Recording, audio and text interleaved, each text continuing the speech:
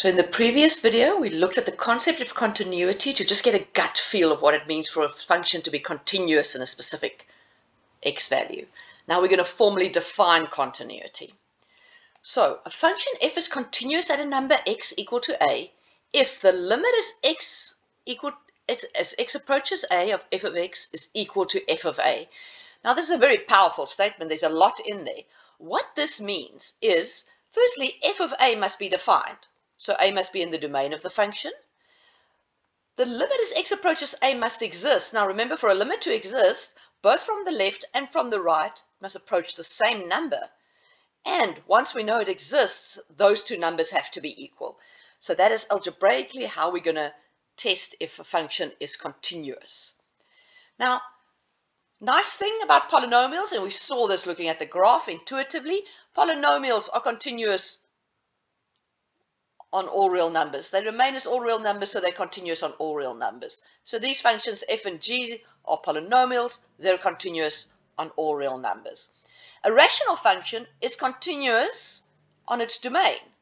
So this function h is continuous everywhere except where x is equal to 5. Same with the function j, where x is equal to 4 or minus 2, it's not continuous, but for any other x values, that function will be continuous. Now here's just two special ones. The first one, f of x here, x plus 1 over x plus 1. Now in previous videos, when we looked at limits, we saw that this is not equal to the function 1. If I had to draw h of x equal to the constant function 1, it will look like this. y value will be 1 everywhere. But if we had to sketch this f of x, what it looks like is very similar to h of x. It's the same as h of x everywhere except where x is equal to minus 1. There's a hole in my function. It's not defined where x is equal to minus 1, but everywhere else it's the value 1. So that function is not the constant function 1, so it's continuous everywhere except at x equal to minus 1, because that's not in the domain. The last one we have here, the domain of this function is all real numbers. That denominator can't be 0, so that function g is also continuous on all real numbers. So let's look specifically at how we're going to test for continuity. And the nicest functions to use to test for continuity is piecewise defined functions or compound functions. So let's look at this first function. You can sketch it if you want, but we don't need the sketch to use the definition to test algebraically if this function is continuous. So if I look at x equal to minus 1, that's where we're looking. So we want to know is it continuous at that specific x value. And we can see that this is where something happens in the function. Now, if we had to had the sketch, we could easily see what we're expecting our answer to be, but we're going to do this without the sketch. So there's a couple of aspects we need to look at. The first thing we need to look at is what is f of minus 1. That's our first step. Is this function defined at minus 1 and what is its value? So at minus 1, that is the first because x is equal to minus 1 there. So this is this first part, so the, it's the constant function 1. Next, I must look at the limit as x approaches minus 1. But remember, because we've got two sides here, we'll have to look at the limit as x approaches minus 1 from the negative side of the function and the limit as x approaches minus 1 from the positive side before we can determine if the limit as x approaches minus 1 exists even. So from the negative side, those are values of x smaller than minus 1. So it's going to be in this first constant function, so that's just going to be the value 1. If I look at values of x approaching minus 1 from the positive side. Those are numbers bigger than minus 1, so then I'm looking at the second function.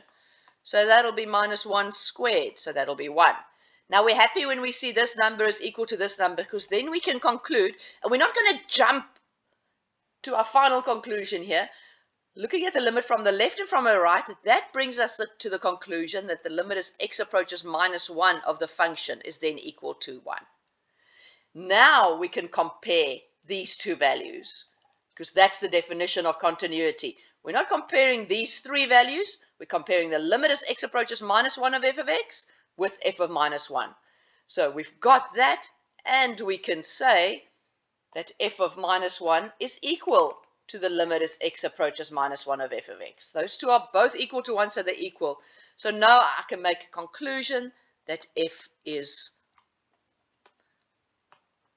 continuous at x equal to minus 1. Now when we talk about continuity, you must be very specific where. This, here we checked for a specific place. In the previous examples, we looked at polynomials. They're continuous everywhere on the domain. But now we're looking at continuity at a specific x value. We're going to look at some more examples in the next video. Last thing to look at in this video is types of discontinuity. So if I know function is not continuous, the question is, what is wrong with it? What's going on there? And there's three main types of discontinuity. And they're named very nicely. The first one is a removable discontinuity. That is a case where there's the limit that exists, but it's not equal to the function value, or the function value doesn't exist. Let's look at an example. This third graph here. Here, as x approaches 1, my limit will exist. My limit value will be 2. So the limit as x approaches 1 of this function. That limit value exists. It's 2. My function value exists at 1, but it's 1. So those two are not equal to each other. So that is a removable discontinuity. Let's look at the next one. A jump discontinuity, named very well. The limit as x approaches a from the negative side and from the positive side exists, but they're not equal to each other. So let's look at this first example. Let's look as x approaches minus 1. The limit, or uh, x approaches 1. The limit as x approaches 1 of this function from the negative side is going to be 1. And the limit as x approaches 1 from the positive side of this function is going to be 2. So I can conclude that the limit as x approaches 1 of g of x doesn't exist. So it's not continuous at 1 and it's a jump discontinuity. And then the last type of discontinuity we're looking at is called an infinite discontinuity, also well named.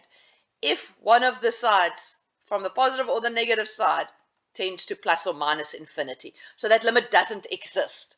So, but we can say it goes to infinity or negative infinity. So what we have here, if I, this is 1 over x squared, as x goes to 0 from the positive and the negative side, my function value goes to positive or negative infinity. So the limits don't exist, but they go off to infinity, and therefore it's an infinite discontinuity. So in the next example, next video, we're going to look at some more examples of testing continuity and then looking at the types of discontinuities.